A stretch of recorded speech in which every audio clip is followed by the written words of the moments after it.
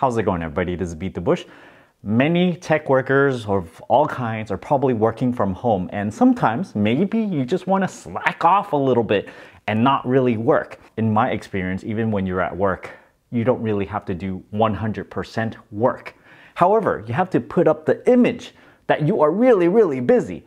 So therefore, sometimes when you have things like Microsoft Teams, it would show that you are on idle when you don't move the mouse around for over five minutes. So how do you get around this? Yeah, you can probably have software methods, but I have a hardware method which is really good because then you don't have to install any kind of weird mouse program inside your work computer. So I have one of these over here, an Arduino Uno.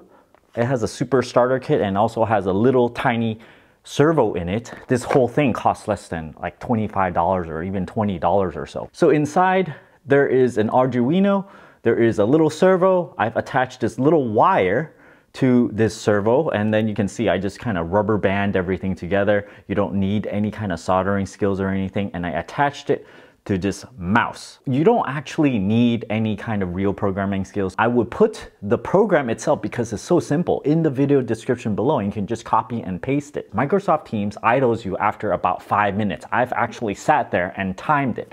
This might depend on your company, what the settings they set it to. You might want to time it yourself to see how long it actually takes and modify the program a little bit. But it actually moves the mouse every four minutes and 55 seconds or so, so that it'll keep you um, in the busy mode so that you are online and not away. So if you keep on looking like you're online, well, you're gonna give this image that you're working really hard and you know, you're gonna get your promotion. In my experience of working in the corporate world, image is like at least 50% of the thing. You gotta look like you're busy, even if you're not doing anything. You can, I don't know, most people, they can get by probably by doing 25% effort, you know, like instead of working 100%, you do 25% effort. And this is, I think, average. If you do like 50% work, if you're 50% efficient, you are gonna be a superstar.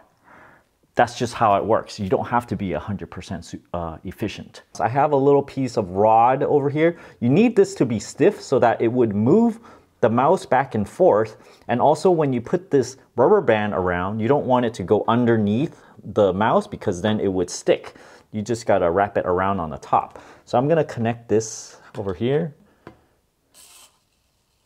and this is enough to make it look like you are busy on Microsoft Teams. So it's just gonna move the mouse back and forth. And I'd say you have to put this thing on a non-conducting surface, kind of like a napkin or something, so it has some traction.